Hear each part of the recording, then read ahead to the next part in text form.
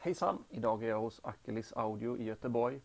Jag har precis riggat upp och ställt in Engelholm Audio Jock 8.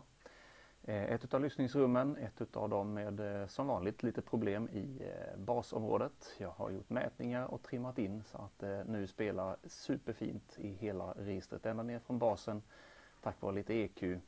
Och sen så använder vi en EAR 834 rörförstärkare tillsammans med en SACD-spelare.